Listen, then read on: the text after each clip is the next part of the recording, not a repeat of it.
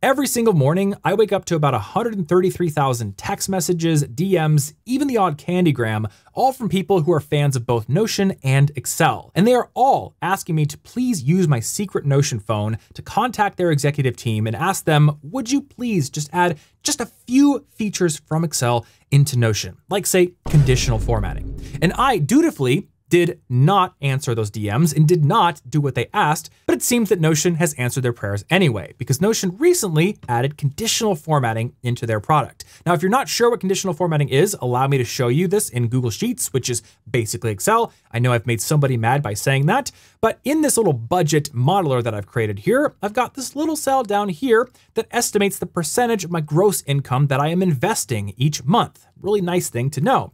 And if I go up here and just sort of delete my 401k out of my life, now it is red and it's making me feel guilty about my financial decisions. That's pretty much the purpose of conditional formatting in spreadsheets. They exist to be read and to make you feel guilty, and now we can feel the same feelings of guilt and inadequacy in Notion as well. Let me show you how exactly you can do that. So we're gonna go over to Notion, and here you can see we've got a view of our business expenses.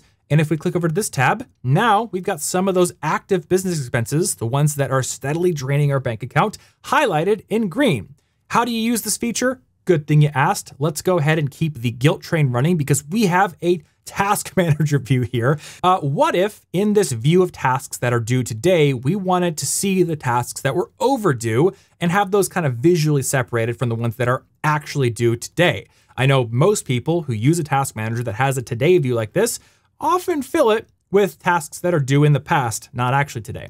Well, if we go to this little settings icon here, we got this brand new conditional color submenu waiting for us. If we click into that, we can click new color setting, and then just as if we were creating a database filter in this view, we're gonna pick a database property from this database to base our rule on. So we'll pick our due date type property here, and we're gonna say where due is before, and you've probably seen this again while creating a filter, uh, is before, we'll say end date, not start date, because that is a uh, due. This is kind of like a due view. We're gonna go into select. We're gonna click this little bar here to access our dynamic values, and we'll click today. So we're gonna say where due is before today. We are gonna make the page background, and green is not gonna do it for us. We're gonna make the page background red. So this now really screams, you have screwed up please go and do this stuff that was supposed to be done at a earlier time. So that is conditional color in a nutshell. And I wanna show you a couple more examples of how you can use it with different property types.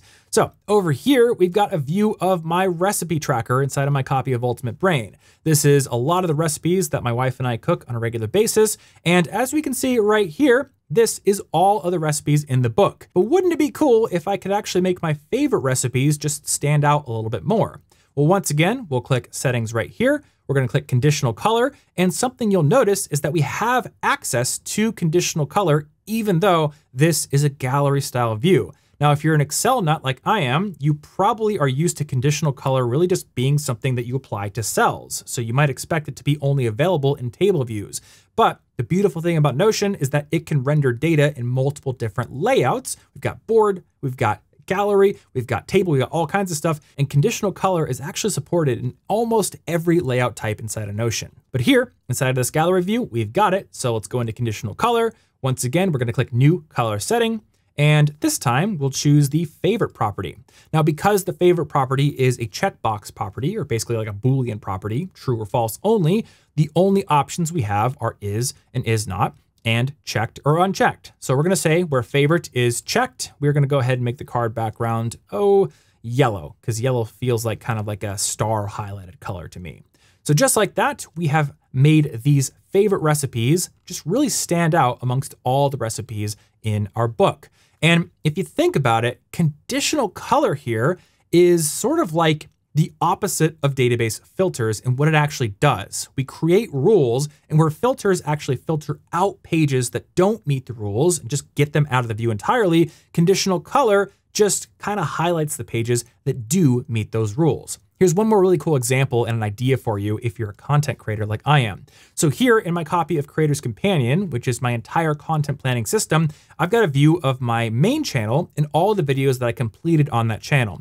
And you can see here that I actually have the view counts, the like counts, and the comment counts for all these videos. I use the Notion API and the YouTube Data API to pull these numbers in and keep them relatively up to date.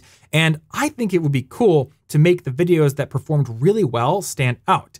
So let's once again hit settings. We're gonna go to conditional color, and this time we're going to choose the view, uh, the views property here, which is a number type property. And we'll go with the little greater than or equal than sign. And I'm gonna go with say, oh, 500,000 for this particular channel.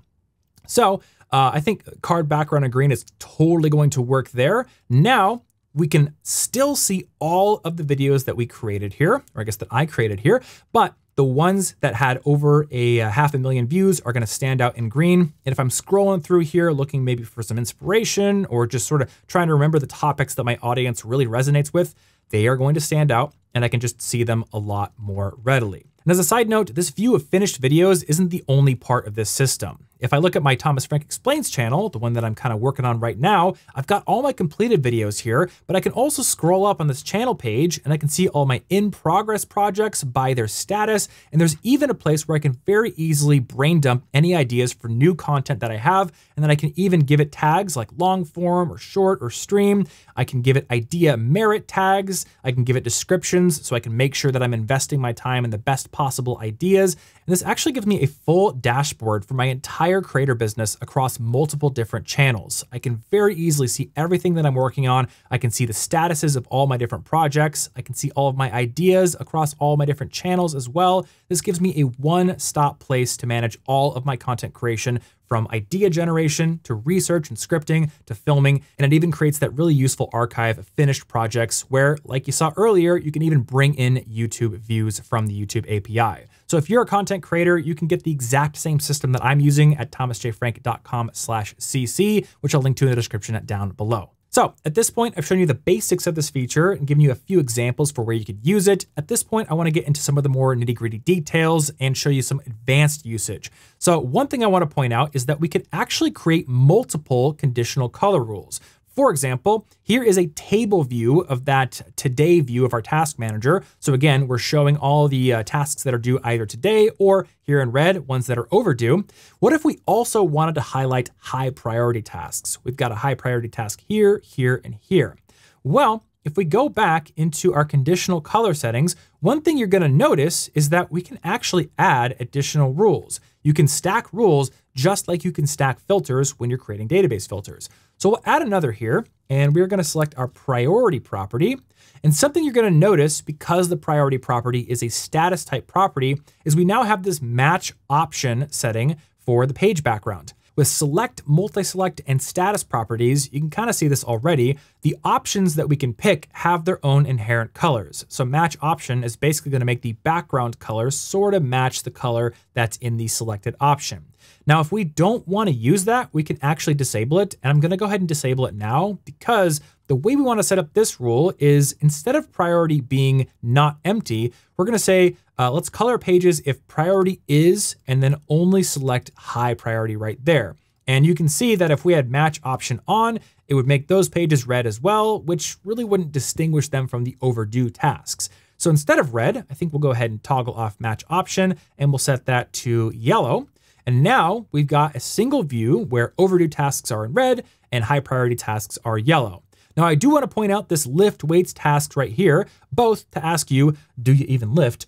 And also to point out the fact that this is a high priority task that is also overdue, but it is in red, not in yellow. And that is because if multiple conditional color rules apply to a specific page, only the top level rule is going to lend its color to that page. You're not gonna get some sort of weird red yellow hybrid here. So at this point, I've shown you conditional color here in a table view. I've shown you it in a list view, in a couple of gallery views here. Let's talk about the supported layout types for this feature. And it really kind of just comes down to all the layout types where conditional color would make sense. That is to say, if we go into settings here, we go into layout, show you all the different options here, uh, minus one that I'll talk about in a second.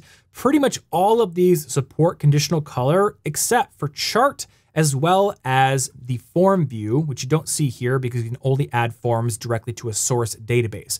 Those omissions actually make sense. Charts really kind of aggregate data from a database. They don't show individual rows. And then forms are kind of similar. They don't show individual rows. They just kind of give you a way to get new individual rows created in a database.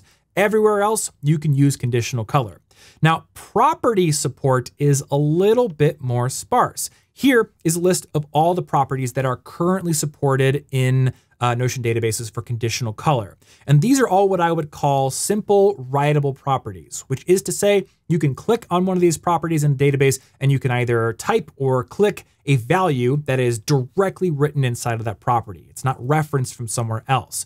Meanwhile, here is a list of all the properties that are currently not supported for conditional color. Now, there's a few right off the bat that kind of don't make sense to me. Email, URL, and phone are all basically just aliases of the text property type, so I'm not really sure why they're not supported. And then there's a few that kind of hurt my soul because they aren't existing right now, uh, and that is formula, relation, and rollup with a particular emphasis on formula. And I want to go back to the screen share here to show you why I badly want formula support for conditional color. So here is a view of my business expense tracker. And I made a whole video on how you can build this for yourself if you are curious. I just pointed, but I don't know where I'll put it on screen. Um, where I really would like to use conditional color in a view like this is to show the, the expenses that are going to renew in the next, say, 30 days. That's kind of the whole point of why I built this expense tracker to show me the rough monthly cost, even for annualized expenses, and also to show me the next upcoming renewal date, which is especially important for reminding me when annual expenses are about to renew. And as you can see, we are currently sorting this by name. So let's say this is a A to Z or alphabetical view of this expense uh, tracker here.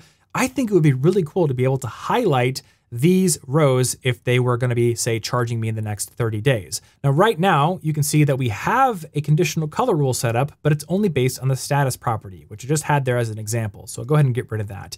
Uh, the reason that you're not going to find renewal date as one of my options here is because renewal date is not a date property. It is in fact a formula property that is referencing a date property. You'll see that we have a charge date property somewhere else in the view. This is the original date of the charge that happened, uh, but that's not really useful for planning and getting reminded about upcoming charges. So we create a formula which references that charge date along with the current date and some recurrence data and tells us, hey, you're going to be charged at this particular date. Wouldn't it be cool if this could be highlighted in red?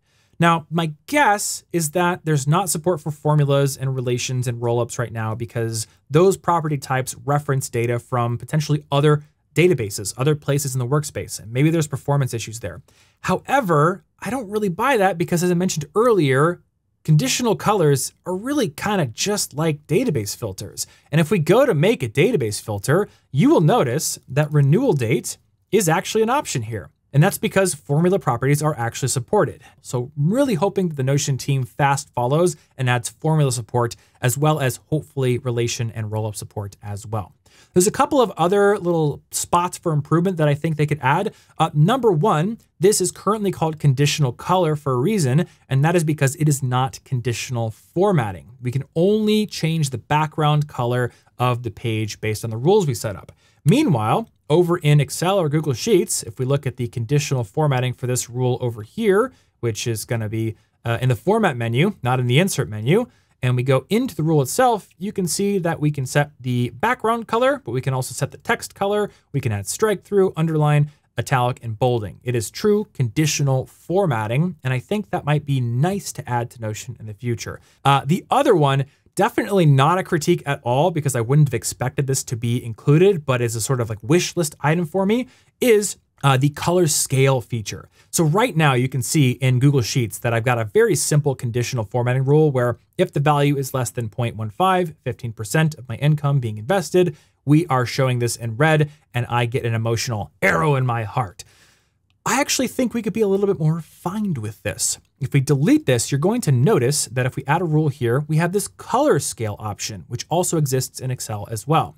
So instead of applying a single color to the cell if the condition is met, we can create a scale. So right here, I'm going to go into my formatting rules in the preview. Uh, we're going to choose, I think, this scale right here, red to white to green.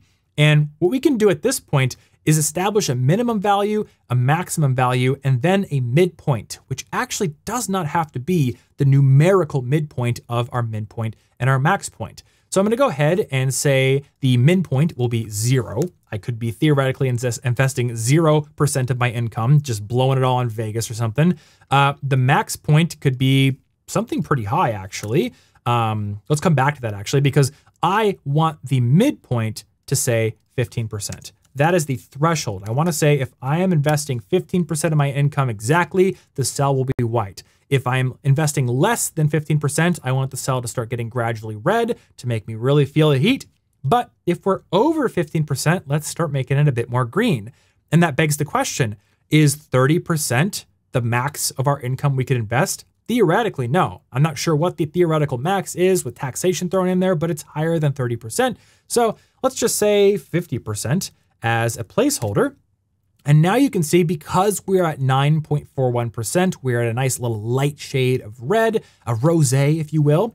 And if we go up here and we bring our 401k back, thousand bucks a month, we are going to be in the green, 21.95%. So that is color scaling with conditional formatting. And I think that would be pretty sweet to add in uh, to the conditional color feature here in Notion if they ever want to bring that in. In fact, I would rather see that added than the additional bolding and italicizing and all that kind of good stuff. Now, if an inkling of curiosity was stirred inside of you when I opened up this formula editor and you're wondering, how could I learn the wizardly powers required to write these kinds of formulas? I've got another video on this channel right here, whenever it pops up, that will teach you Notion formulas from scratch. It is one of the videos I am most personally proud of, even though not a ton of people have watched it because it's kind of technical, but I think you'll really, really enjoy it. And if you want to learn Notion formulas, that is the video to watch right there.